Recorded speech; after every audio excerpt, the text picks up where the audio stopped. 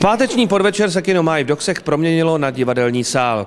Vedení města věnovalo ženám dárek k Mezinárodnímu dni žen v podobě komediální hry, když se zhasne v podání divadelního souboru Pick Arts Úštěku. Pro zúčastněné ženy byla připravena i malá pozornost. Miluju mexickou kuchyni, tradiční příprava. Tacos, nachos, burritos, tamales, Prosím mensa. tě, to je nějaká sestava mexický fotbalový reprezentace.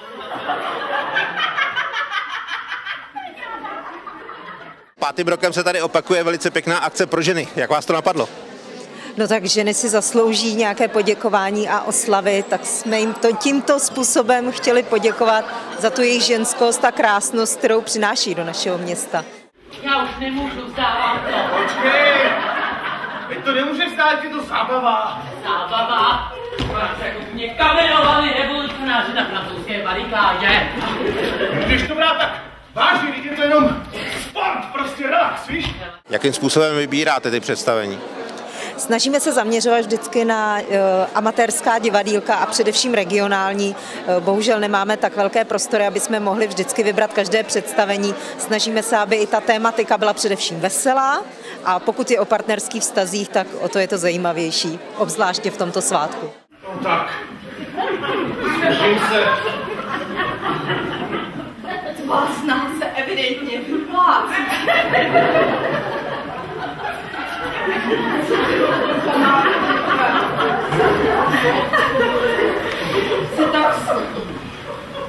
A.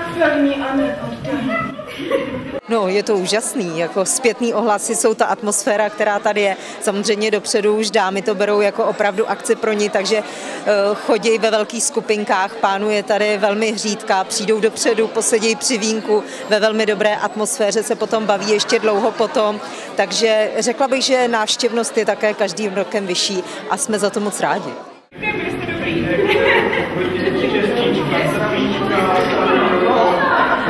Díky za pěkné Tak děkujeme taky.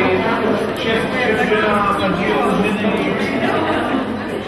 Zažijou ženy a jejich muži. Dřív se říkalo Mezinárodní den žen, anebo taky žádáme den mužů. Co byste vzkázala těm mužům?